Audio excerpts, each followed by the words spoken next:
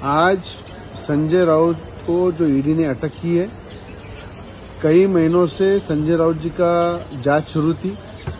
कई बार ईडी ने उनका बयान लिया और जिस तरह से महाविकास आघाड़ी बनने के बाद संजय राउत ने जो मुंबई महानगर मुंबई क्षेत्र का जो डीपीआर जो है, वो उद्धव ठाकरे मुख्यमंत्री को अन्य फ़ायदा उसको फाइनल किया और कई बिल्डरों को एपीएसआई टीडीआर इसके माध्यम से भी बड़ा घोटाला हुआ है।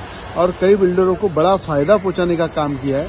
और आपने देखा है जिस तरह से अनिल परब भी अटक अरेस्ट होने की टांग की तलवार उसके ऊपर है। जिस तरह से आज संजय राउत ने जो जो करप्शन किया है, महाविकास आघाड़ी बनाने के लिए कांग्रेस, एनसीपी की तरफ़ से बड़ा पैसा संजय राउत को दिया गया है।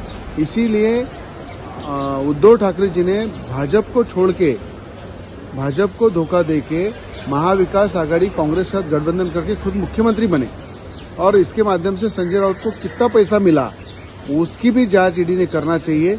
और जो जो संपत्ति अवैध जमा की, वो अटैच करना चाहिए। और जो गरीब लोगों का पैसा संजय राउत ने सही मायने में महाविकास आघाड़ी के माध्यम से उसमें भ्रष्टाचार किया है, वो भी आगे आएँगे। और इसमें कौन कौन से लोग जुड़े हुए कौन कौन से कंपनी में संजय राउत के शेयर है? कौन कौन से कंपनी में वो डायरेक्टर है? ये भी सब बाहर आएँगे और कहीं ना कहीं इसकी